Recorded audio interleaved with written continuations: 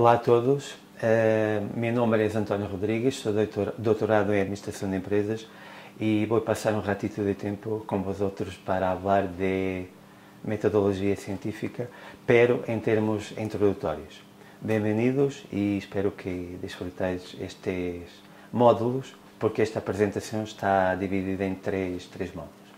Vamos falar de nascimento de um projeto de investigação, e para dizer uma coisa importante, que as investigações começam sempre em ideias. E associada às ideias está a qualidade destas ideias e a qualidade está relacionada com as fontes que cada um de nós outros em nosso trabalho vai um, tomar. O que acontece é que as ideias são vagas, são muito latas, muito grandes, muito abstratas e é necessário sempre antes de concretizá-las, a recorrermos a uma fonte bibliográfica, a uma fonte onde há algo de trabalho científico anteriormente hecho. E é assim que teremos que empezar. Por outro lado, quando se busca um trabalho de investigação, há que ter prazer, há que ter um, gosto por aquilo que se vai uh, a ser. Então, é necessário que nossas ideias também vão ao encontro de, de, nossos, eh, de nossas preferências uh, de momento.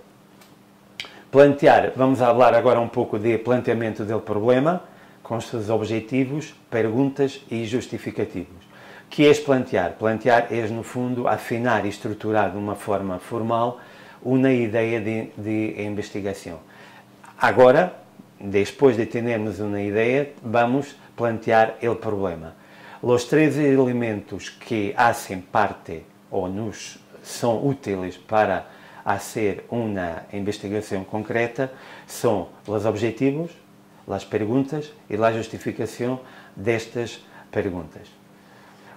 Estes três elementos que acabei de enumerar devem nos guiar a uma investigação concreta com uma possibilidade de fazermos uma prova empírica. E aquela prova é a matriz, a marca de um trabalho científico. Sem prova não podemos concretar absolutamente nada. Por outro lado, os objetivos e as perguntas de investigação devem ser congruentes entre si e também irem em la mesma direção. Direção quer dizer, no sentido que, além da congruência, devem também, também ter um, um, um, sentido que lhes dê alguma lógica, algum racionamento. Os objetivos estabelecem que pretende a investigação, as perguntas nos dão, nos dizem que respostas nos devemos ter, encontrar durante o percurso da investigação e a justificação nos indica por que devemos fazer a investigação, por que a razão de fazer esta investigação. Há critérios para avaliar o valor potencial de uma investigação. Quer dizer, nem todas as investigações têm o mesmo valor lo ideal é ter uma investigação que tenha um grande valor. Para isso, vamos socorrer-nos de três critérios que são a conveniência, a relevância social, as implicações práticas, o valor teórico e a unidade metodológica da investigação. Por outro lado, además, é necessário analisar a viabilidade das investigações e suas possíveis consequências, porque toda a investigação se quer que tenha consequências, para ser científica, para produzir consequências, a nível do mundo da ciência. Por outro lado, quando planteamos o problema, eu lhes recuerdo que estamos no capítulo, em la parte de plantear um problema científico, o planteamento não pode incluir juízos morais ou de outra natureza, ou estéticos. Pero, quando iniciamos um projeto de investigação, devemos questionar-nos se é ou não ético levar a cabo essa investigação. Como lhes disse no início, Isto é uma apresentação de introdução à temática. Não há aqui tempo, neste momento, para desenvolver muitos, muitos conceitos que estou falando. Em outra ocasião, provavelmente, iremos profundizar todos estes temas. Outro, outro aspecto de, de la investigação é, é a questão do marco teórico. que é o marco teórico? O marco teórico, como o próprio nome indica, tem a ver com teoria, com os estudos, com os enfoques teóricos que há e que se referem ao problema da investigação. Para eu elaborar um marco teórico, tenho que, primeiro, ler, consultar a literatura, tudo o que há de informação para recopilar a informação dentro ele. Atenção que esta informação, se estamos num problema de investigação, tem que ser literatura científica ou muito próximo de la ciência. Quando queremos construir o, o marco teórico, isso depende muito de lo que encontramos em la revisión que hicimos de la literatura. Então, poderemos encontrar ou ver-nos perante algumas situações quando hacemos essa revisão. Uma situação que podemos encontrar é que existe uma teoria completamente desenrolada e que se aplica a nosso problema de investigação.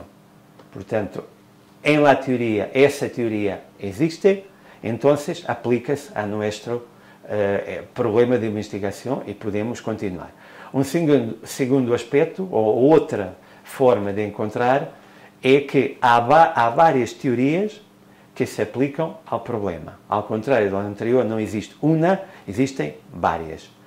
Outra hipótese é que há generalizações empíricas que se aplicam ao problema, pero existem ou são guias não estudadas, ou são ideias vagamente, uh, uh, digamos, tratadas, aproximadas com o nosso problema de investigação.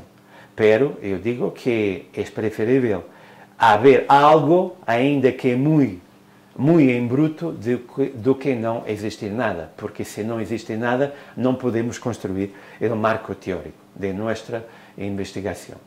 Uma fonte muito importante para construir um marco teórico são as teorias.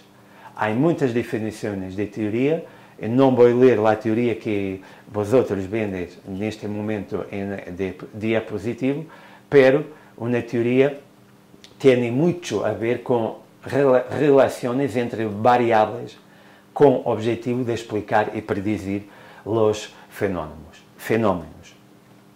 Há critérios para avaliar se a teoria que estamos consultando é útil ou não para nosso marco teórico. Então, temos cinco critérios um, deles é capacidade de explicação e predição, outro capacidade de consistência lógica, outro la perspectiva, outro frutificação e, por último, parcimónia. É importante aqui sublinhar, marcar, que o marco teórico vai orientar as etapas que vêm a seguir no processo de investigação. Outro tema que vos quero aqui, ah, digamos, abordar de uma forma sucinta é o tipo de investigação a realizar. E há basicamente três tipos: exploratória, descritiva, correlacional ou explicativa. Então, que vamos a ser? Dentro de uma panóplia de estudos, nenhum estúdio, a partida, é superior a los demás. Não podemos afirmar assim de um pé para a mão que aquele é superior a, a los demás. Não, todos são significativos e valiosos. Lo que temos que fazer para elegir um ou outro tipo tem a ver com o grado del, del desenvolvimento del, del conhecimento que esses estudos abordam e que tem a ver com respeito a, nos, a nosso tema que queremos eh, desarrollar, abordar. Os estudos exploratórios têm por objeto familiarizar-nos com um tópico que é desconhecido ou pouco uh, estudado. Esta classe de investigações, portanto, se quisermos, se decidirmos utilizar uma investigação exploratória, tem como objetivo desenvolver métodos a utilizar em outros estudos mais profundos. Em relação aos estudos descritivos, estes têm uma tónica um pouco diferente. Servem para analisar como é e como se manifesta o fenómeno e seus componentes. Por último, os estudos correlacionais pretendem ver como se relacionam ou vinculam diversos fenómenos entre si, isto é, se ou não se relacionam. Os estudos explicativos, que são estudos um pouco semelhantes a los correlacionais, buscam encontrar razões que provocam determinados fenómenos. Por exemplo, a nível cotidiano e personal, seria como investigar porque Maria gosta tanto de ir a bailar a um disco e porque se incendiou um edifício. São aqui razões que queremos indagar que provocam estes fenómenos que estão subentendidos neste exemplo. Por fim, uma, uma mesma investigação pode abarcar fines exploratórios em seu início e terminando com outro tipo de exploração, de, de, de tipo de investigação. Isto depende, certamente, dos objetivos do investigador. Assim concluímos esta parte, parte 1, e espero encontrar-vos em la parte 2. Gracias.